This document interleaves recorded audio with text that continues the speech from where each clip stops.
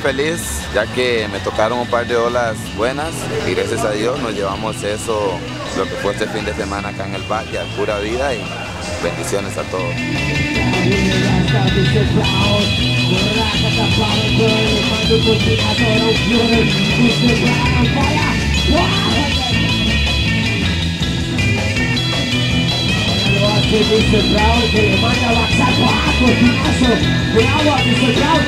A otro más, en el